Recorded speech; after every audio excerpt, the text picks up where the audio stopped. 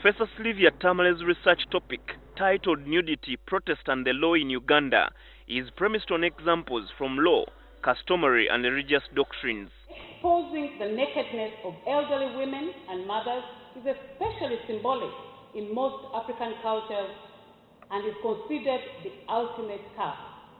Dr. Tamale, a renowned feminist and professor of law, says her research was prompted by the nude protests staged in April by Dr. Stella Nyanzi, formerly of Makerere Institute of Social Research.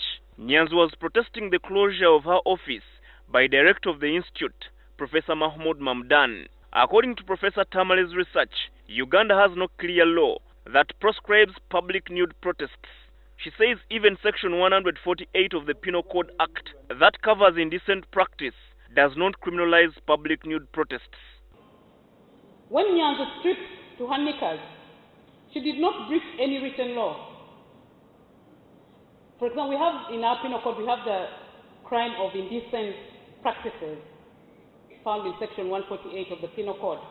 But that on, only criminalizes acts of gross indecency committed with another person in public or private spaces. The Anti-Pornography Act only covers the production, trafficking in, publishing, broadcasting, exporting and importing of pornographic materials.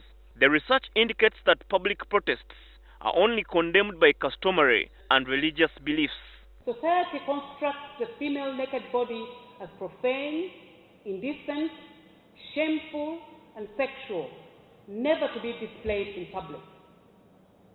Women must therefore cover their bodies, particularly the areola, nipples, and the calves of their breasts. Dr. Tamale's research also concludes that nude protests by women are not a new practice.